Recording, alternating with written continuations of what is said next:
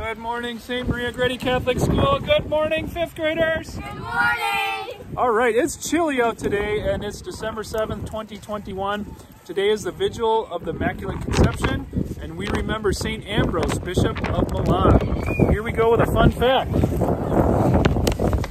A shark is the only known fish that can blink with both eyes at the same time.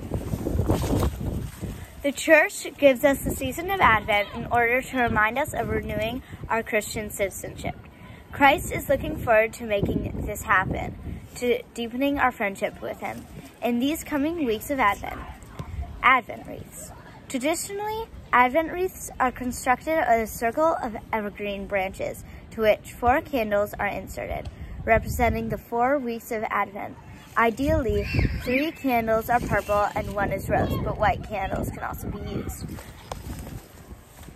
Please join me for the morning offering. Oh my Jesus, uh, in the name of the Father and the Son and the Holy Spirit.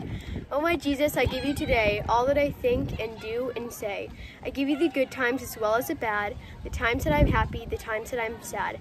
Fill me with grace and make me strong. With you by my side, I won't go wrong. In the name of the Father, Son, Holy Spirit, amen. Please join me for the pledge. I pledge allegiance to the flag of the United States of America and to the republic for which it stands, one nation under God, indivisible, with liberty and justice for all. All right, well done, fifth graders. Thank you, and remember, be a saint. What else